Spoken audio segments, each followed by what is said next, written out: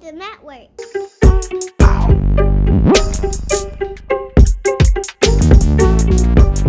Oh, what's up, everybody? Once again, it's BrandMan Sean, and I'm back with another Linqup today. I got Teaacup yet again. I think this is her third time on the Linqup series. And look, man, it's because she keeps on bringing some value in. She got some sauce for y'all today.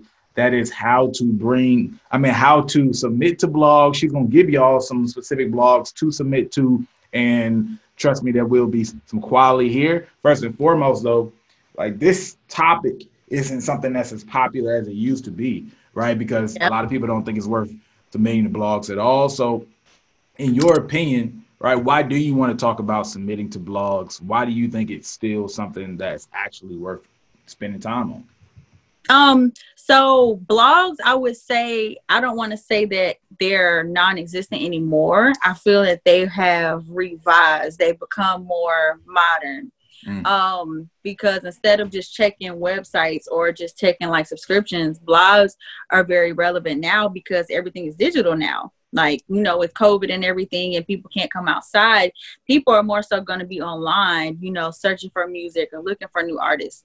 And nowadays you know a blog just isn't just one website or one twitter page that tweets all the music. Now blogs can be even the instagram pages that post all the new music you know? Like mm-hmm. so blogs can be like say cheese or blogs can be like dirty glove bastard so those are what we consider now blogs instead of the older typical blogs where everybody had the wordpress and everybody was just writing up. Now those are still relevant too um, especially if you're on twitter. I tell every artist to get on twitter. Get on twitter. Why is it's, that um, because Twitter is more so a it's easier to click links. So when you go to Instagram, you got to go to somebody's page you see it on their story, you see it on their page, and you got to go click on their page, and you got to go click on their bio. Then it opens up another app, you know, mm. to take you somewhere else, and that's too much work for a lot of people. On Twitter, you could just click the link when you see the tweet, and it goes straight there. And then a lots of blogs and platforms and things like that that already have their people that there are people on Twitter that do still subscribe to Twitter blogs, so you could just go on there and click, and then somebody can find you just like that. Got you. Got you. So you would say a underutilized route would not just be getting posted on some of these IG pages, which that's a great point that those are the modern day blogs. Those are still considered blogs, even though we might not think of them in the same way or brand them as heavily that way. But you would say it's underutilized to actually look for somebody who's popping on Twitter blog wise and, and trying to get posted with them. Yeah, so it's not so that's very relevant. Like people still do that. Like people still follow complex and people still follow hot new hip hop, you know, to see what's out and people still look at those things. Because if you really think about it, like a lot of celebrity news, a lot of celebrity news but so if you really think about it, a lot of celebrity news you find it on Twitter first. So you'll find it on mm, Twitter first. True and then usually it's reposted onto Instagram. You know, like like right. Shade Room, they post a lot of tweets. You know right. what I'm saying? So Twitter is very active as far as people subscribing to certain celebrities or subscribing to certain things. Got you. Got you. Like, okay. Makes sense. Makes sense. Now let's go ahead and get into just the practicality, those technical steps of how to submit to blogs. What what are your steps and what are people missing when they even think to do it? Okay. So when people submit, is that noise a lot in the background? It's a little bit. It's there a little bit. All right, we had to pause for a quick second, but again, Teaacup, how do you submit to blogs? Okay, so how to submit to blogs? Okay, so for one, what you always need to do is you need to research these blogs that you want to be a part of. So go check out their websites, go check out their content, go look at their about section and make sure you match the type of content that they post. So for example, I mentioned Dirty Glove earlier, right? So Dirty Glove has more so a trap, you know, street aesthetic to it. So if you're somebody that's like pop, you know, or alternative, you may not align with their platform or or even if you do submit to their platform it may cost you more you know to be on their platform because it really doesn't align with the type of audience that they have so uh, you so you're saying that some people actually post stuff that they know that isn't really in line with their platform, but they just still say, "Look, I gotta, I'm gonna take the check though." Right. So, I mean, not necessarily saying people do that. Some people may decline you, but that may be something if you really want to be on somebody's platform, you know, you may not align with what they have. Gotcha. Just like, you know, if you're if if it's an R&B platform, you know, and you're having rap music or just straight spitting type music, you know, why would you submit to an R&B blog, you know? So you may get denied or you may be charged more, you know, that's just the either or to it. Um what should I say? Um, so submitting the blogs, always research and make sure your music aligns with their content. You always want to look at the specific writers on blogs, like when it comes to like complex or rap radar and stuff like that. You want to look specific to the writers and you can find them on Instagram to even see like the type of content they post. And of course, support these people. Like support the writers, support the blogs, you know, show love, you know, and make sure it's genuine even after they do post you you know, still continue to show love because that's how you build that relationship. And then they can still keep up with what you're doing. Um, submitting to blogs. Okay. So you will always need a bio, you will need a press release, or you will need an EPK. So a press release and an EPK are two different things. Both should include a bio, right? So okay. the bio always tells about who you are, you know, just a little bit about your background with music. Um, and then with the press release, that's usually promoting a specific single project or video. So it includes the bio and then it includes a description of what the content is that you're looking to have shared or posted. Um, an EPK is an electronic press kit. So it's basically like a digital resume for an artist. Um, so an EPK can include some press sources. So once you do start to get onto different blogs, you can include the different blogs that you are featured on in your EPK so that people can click and reach them. But basically, an EPK is a one stop shop or a one stop document.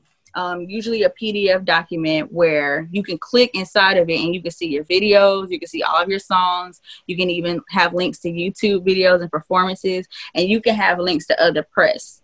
So a EPK may not always be necessary initially if you're just starting out as an artist because you you know you may not have anything to put inside of that portfolio. But definitely you need a bio and a press release specifically when you're submitting to these websites. Um always when you submit introduce yourself. That needs to be the first thing that you do. You need to introduce yourself include that bio, include a description of the song or whatever you're sending. Now, it doesn't have to be a novel. It does not have to be, you know, I believe a good intro, one to two sentence intro, and then a paragraph of a bio and a paragraph of the content that you're posting. I think that should be good with a press release. Um, because hold on one second, one second. Mm-hmm. So when you say paragraphs, how long would that paragraph of a bio be? Because I've received some emails and some people might say, "Oh, this is one paragraph," but the paragraph is like it, it is a novel.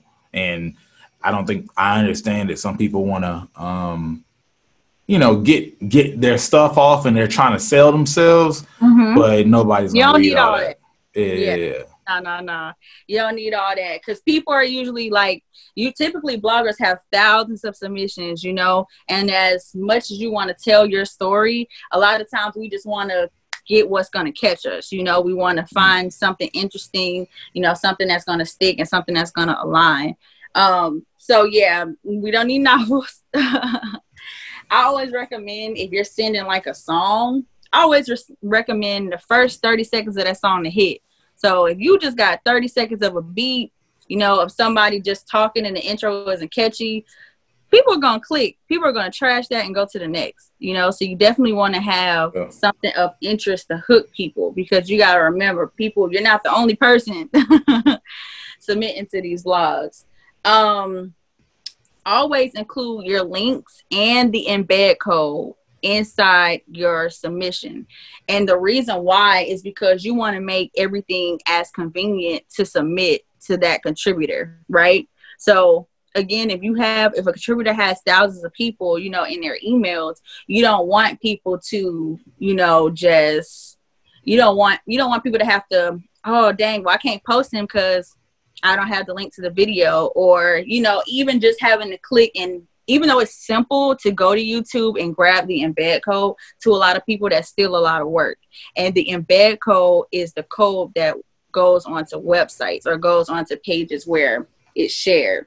Mm. Um, always have a thumbnail. Always have a thumbnail as an attachment, or even better, if you can get a video clip as an attachment in a Google Drive link. So that always helps as well. But especially having a thumbnail because nobody wants to have to go and like go to your Instagram and try to screenshot it. And then, you know, again, that's just a lot of work. So you always want to include the thumbnail, the embed code, and include, I always recommend hyperlinks to social media. So not just writing out the social media, but making a clickable link to where they can go and see your pages. Got it. So. Got it. Make everything as easy as possible. Mm-hmm. Okay. Yep. Yep. Okay. So then, you know, once it's submitted, of course, share the link. Definitely share the link because that lets people know, you know, you're showing love. You know, you're not thinking too, you know, like too good for this or too high of this. That's definitely showing appreciation. Um, so you would want to thank the contributor, of course. What I always recommend um, just to build relationships because let's say if you find a contributor with complex and you know you eventually want to have a exclusive premiere you know or something of that sort. Um, again some people may charge for that but relationships do help because if somebody if a contributor has really grown with you and you know you're always submitted to them and you're you know supporting their content and they're just building that relationship with you then you can you know eventually get an exclusive release. Um, i always say you know send you know if you have little merch items send them merch you know send them thank you things you know for supporting. That's really what you should do with any fans you know just to keep them you know engage or to let them know that you do appreciate them um but yeah, most importantly, just make sure, you know, grammar, everything is good. Make sure there is an introduction. Um, thank them for their time, even when you are submitting, because remember, nobody has to even take a look at it. Um, and make sure to include all the proper links, all the proper content, so that nobody has to, you don't have to inconvenience the person to go and find different things. So. Got you. Got you. But so I mean, you, you listed a lot of things. Do you have a, I don't know, a write up or a sheet that people can go to, to to really reference these things and maybe almost go through it like a checklist? Okay. Um, I guess I can get one. Now, what you can use if you want to use like a checklist, um, there's lots of press releases on Google. Um, it shows like a lot of examples of how to make a press release. And then I could, you know what? That is a good idea. I actually should come up with a checklist for this just to make it more. Do it. Do yep, it. just make it more convenient so you can go down and yeah. make sure. Hey, slap the logo on and everything, and then we'll get it out. All right, bet, bet, and yeah. So the exciting part, because I know y'all are here for the tea, but what blogs you can submit to. So I'm gonna say blog slash platforms because some people do their promotions through like their email blast um, and then some people do like their promotions through again through like Instagram and things like that versus just having the WordPress type website. Um, so in Atlanta, so we do have Dirty Glove Bastard. I did mention them. Um, Say Cheese is a big one. I know they're mostly based in Texas, but they're huge as well. Um, we also have meet the underdog so that's a thriving instagram profile that a lot of people go to to see a lot of content that is especially based here in atlanta um so Swanbeck, she has a blog site as well. She also has a performance platform here in Atlanta for artists to perform, and that's also a good person to connect with as well if you're looking to get in contact with other PRs or press um, or blogs and things like that. So she has those contacts. Um, Coalition DJs, that's a good platform for performing also. And then they also have a newsletter promoting artists and things like that. Um, the Progress Report, that's a good one also. So I know they mostly promote artists. Their blog is like their email and their newsletter, and that's how they promote a lot of artists as well as they have an interview platform. Oh. Um, oh physical blogs, websites. So there's Broke to Dope that's based here. Spill the Tea, like myself, Spill the Tea. I do have a social media blog where I post on Twitter and Instagram. Um, DJ Iceberg, he has a website where it's all down Twitter and Instagram. He's always posting content. Precise Ears is a good one. Both Precise Ears and DJ Iceberg have been both running for some time. Um, let's see, Dope People Meet, Portia Marie. She has a good platform, so she puts people in her newsletter to promote. Um, and then Background Co. I know that's one of the newer blogs that I'm familiar with. Um, I know they like to give personalized write ups on things. So if you're looking for something, um, if you're looking to have something more tailored to your uniqueness and um, somebody that promotes like those smaller artists, so that's definitely Background Co. Um, and then the Daily Note, those are my friends based in Rhode Island. So they also have a blog where they tweet out daily on Twitter as well as post on their website for content. So, yep, if you are reading, definitely make sure you rewind and write these down because again some of these blogs they do have the websites that tweet them out or that post daily on their websites but a lot of people use email and text marketing to be able to reach their audience. So that definitely gives a more direct access to artist content and things like that. Interesting. Interesting. So yep. when you compiled this list is this something that you use um like normally do you ever work with other blogs and since you have your own blog or how does that relationship work? Um yes i most definitely work with other blogs um even with having my own blog um because it kind of takes more than one thing to break an artist or to get people's attention. So people can see something on my blog and then can go back and look on like the progress report page or something and then see it again and it's going to make them like okay well let me go want to check out this person. So you know just the more visibility the more people are going to want to see like hey what's going on? So i definitely use these blogs um, when artists do purchase services from me and things like that um, because i have relationships with them as well. So and yeah and of course going through me if a person you know, with you trying to build that relationship, of course, with me already having a relationship, it would be more, you know, likely for them to engage with the content that I have and things, mm-hmm. the things I submit. But always, if you want to just, you know, go on your own, search for yourself, especially things like, especially blogs like Say Cheese and Dirty Glove. I know a lot of people go for the shade room, but that's like, mm-hmm. that's woo but those are very more you know popular when it comes to like people checking on instagram for content so yeah got you bet bet i appreciate you coming with the sauce yet again um, where should they follow you make sure you spell that out for them Okay, so you can follow me on Twitter. That's T E A A C U P underscore, and then Instagram add a P. So that's T E A A C U P P underscore. Bet, bet, bet. You, everybody, that's Teaacup once again. And it's another yet another BrandMan link up.